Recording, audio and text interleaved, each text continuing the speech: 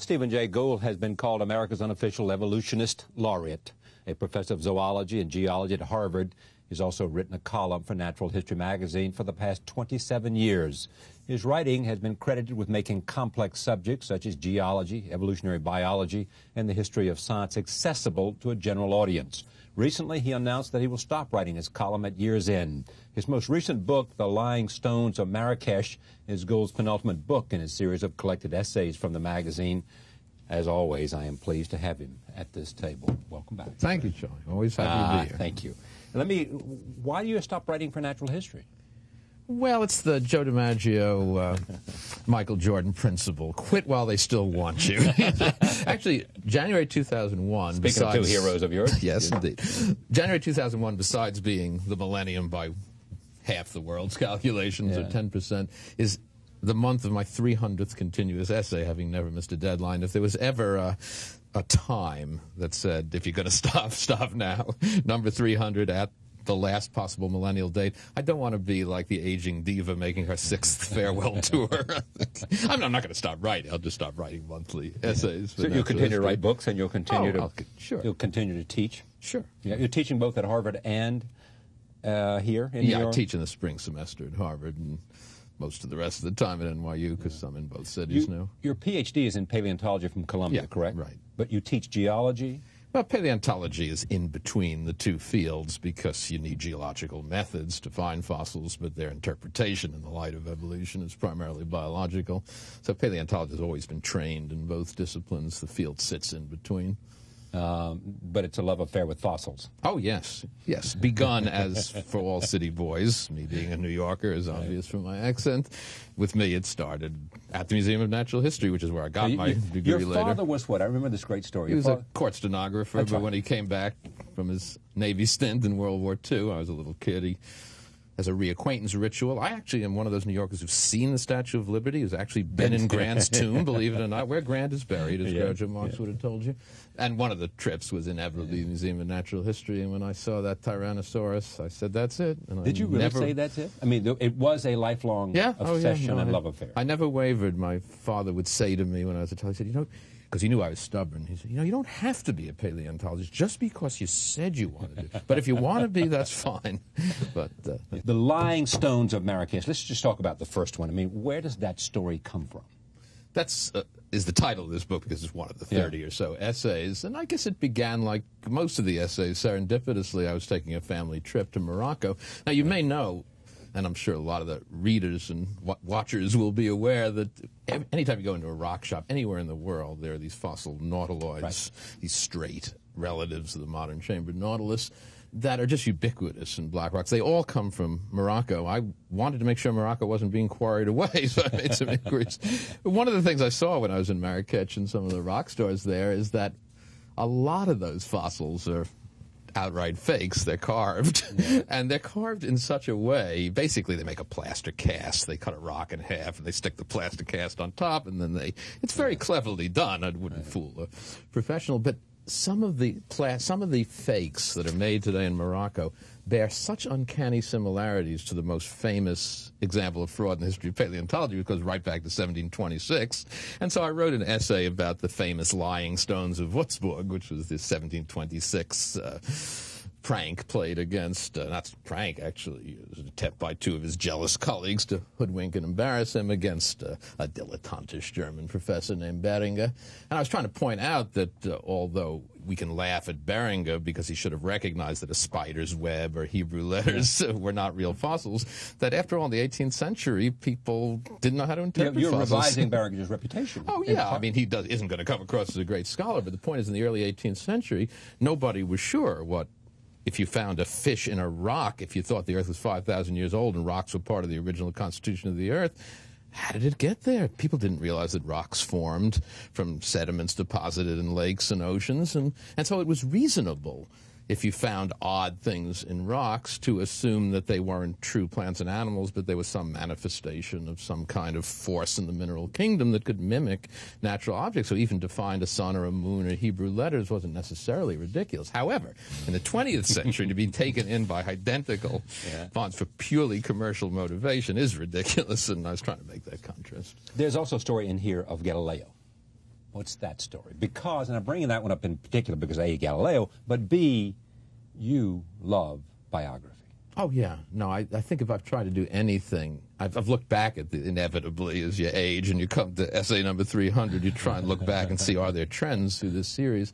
And there's one thing I think I figured out in writing these, it's to develop a, a style where I try to capture the uh, most important intellectual themes of great scientists or not so great scientists' lives within essays. I think it's doable. Obviously, you can write a biography, it's only an essay, but I think you can capture the essence of a person's major contributions and thoughts. And with Galileo, who's one of my heroes, one of any practicing scientist heroes, I really thought it was interesting to focus on his most famous error, which yeah. most people don't talk about. He saw the phases of Venus, he resolved the Milky Way as stars, he saw the moons of Jupiter, he saw the craters of the moon, but when he trained his telescope, which wasn't very good on Saturn, he didn't see the rings. First of all, he didn't optics, see it. his optics weren't good enough, and I don't think he had any mental space for the notion of a planet with rings around it. So he finally decided that it, Saturn must be a threefold ba- body. It must have a central sphere and two little spheres on the side, because that's how he conceptualized the rings. And the point I was trying to make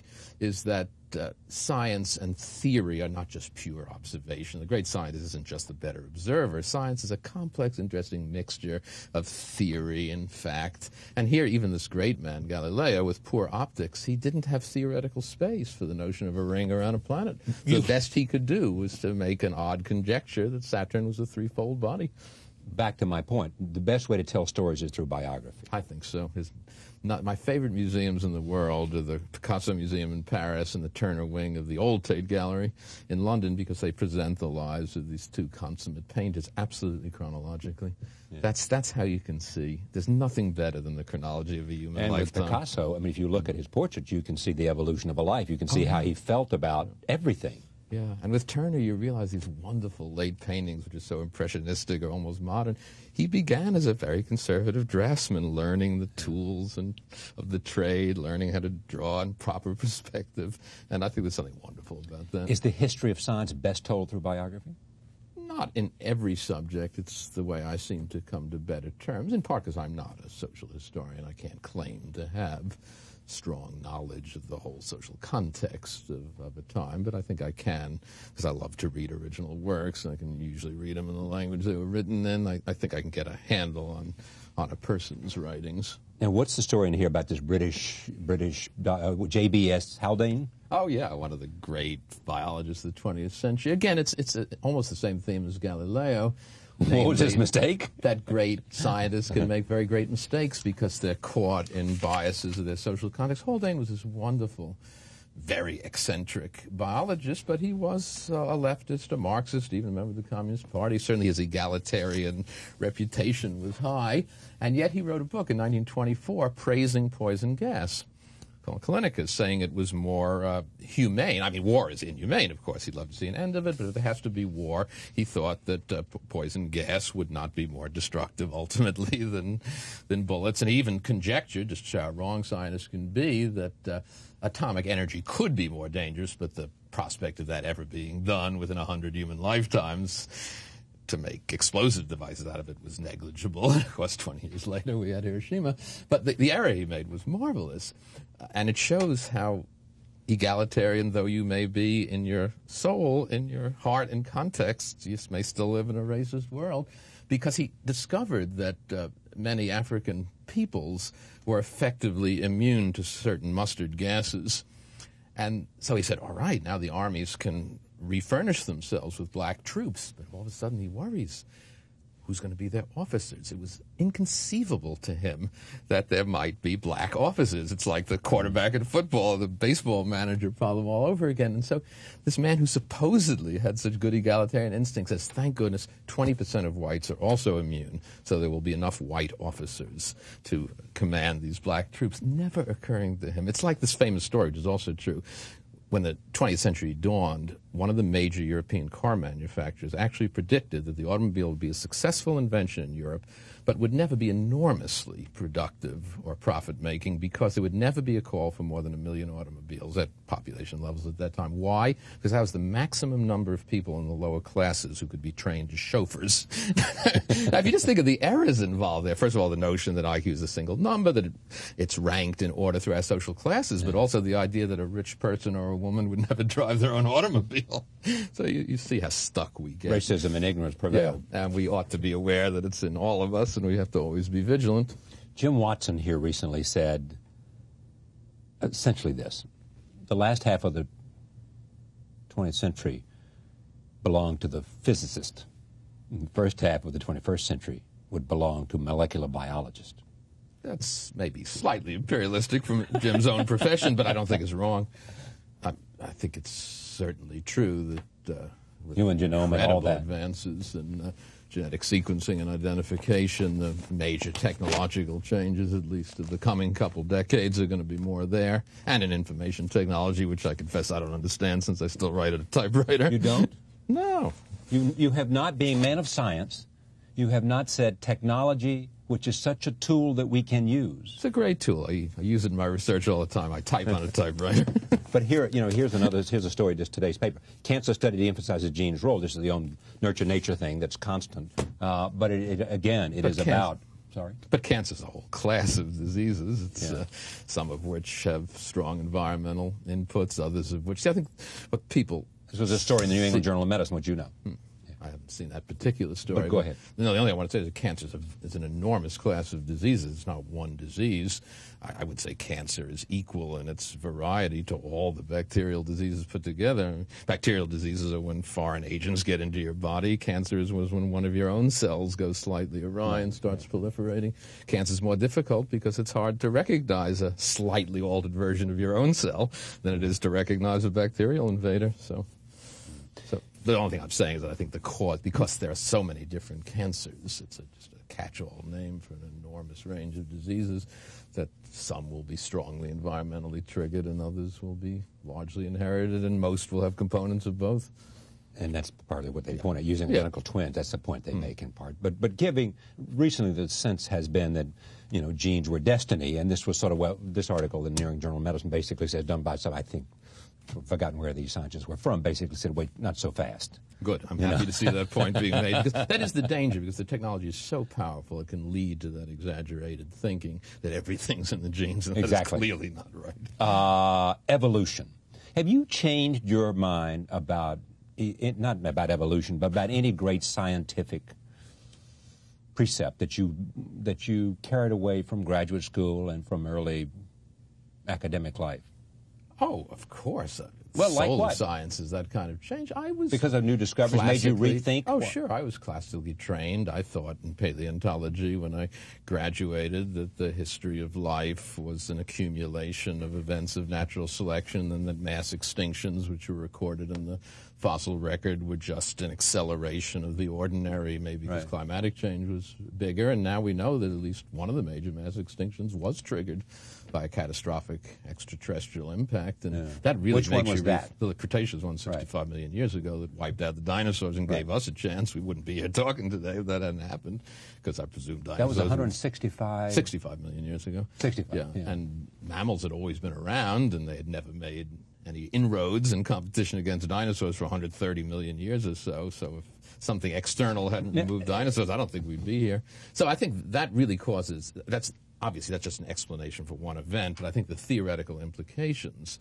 of realizing that a good part of a lot of the history of life is still controlled by cumulative events of natural right. selection, but to recognize that to understand the whole pattern of life's history, you also have to factor in these occasional environmental catastrophes, which must remove species and not simply by ordinary uh, Darwinian competition, but right. just by who luckily has features that allow you to get through this catastrophic, unanticipatable sure. episode. Dinosaurs. Uh, I, I, just want you to help me this because it's just something I sort of ran past and didn't take notice. They now believe dinosaurs are or are not connected to birds. Well, I think consensus would have it that birds are descended from one lineage of dinosaurs, not from the tyrannosaurs, not from the brontosaurs, not from the big things, but from the small running carnivores that actually look fairly bird-like to begin with. But I see I think the mistake people make is to assume that because birds are descendants of dinosaurs, somehow dinosaurs are still alive, there's still tyrannosaurs around.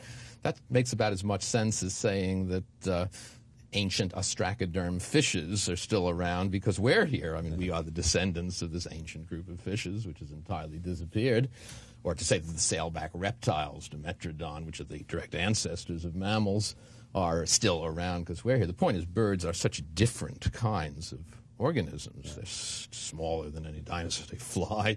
They do such different things from any dinosaurs that even though their ancestry may yeah. be a lineage of dinosaurs, that doesn't mean dinosaurs are still here. It means one small branch of the big tree of dinosaurs evolved very distantly into birds. Finally, evolution. Now, sometimes I, uh, there are two things I want to say finally. One, evolution, I sometimes read these pieces where, where the, the, some of your, some of the evolutionists are quarreling with you. What's oh, that about? That's, that's how just, science it's just works. the nature of science? Oh, sure. There are always things one disagrees with. The main thing I should say, though, is that any healthy field is full of disagreements, but no professional scientist doubts the factual basis of evolution. That the evolution of life Darwin had it right. Is effectively beyond dispute. Oh, I mean, nothing's beyond dispute in science. Let me put it this way: the fact of evolution is as well confirmed as that the Earth goes around the sun and not vice versa. Right. That's that's all proof can mean. So, what's science. the big question in evolution? Oh, the big questions are mechanisms. I mean, how does it happen? What's okay. the pattern of the history of life? Is natural selection every day? Loads of questions, but the factuality of the process is not in doubt. I ask this frequently. What is the one big question you wish you knew the answer to? It's the conventional one, except I don't know how to get the answer. I really would like to know if there's intelligent life elsewhere in the universe, which is plausible, what it looks like and what they have to tell us about yeah. the nature of things. Because we're probably not very smart compared to what smart could be. Yeah. You talked to your friend Carl Sagan about that? Oh, yeah. Sure. Yeah, because he always said it was arrogant of us to assume that there wasn't. Right? Yeah, I, I mean, I, I, can't construct a principled argument about its probability, but the universe is vast, and I figure since we've only been around for a couple hundred thousand years, at most, as Homo sapiens, if there are other forms, they might know a lot more than we do, and I'd sure like to get that boost. this is, book is called The Lying Stones of Marrakesh.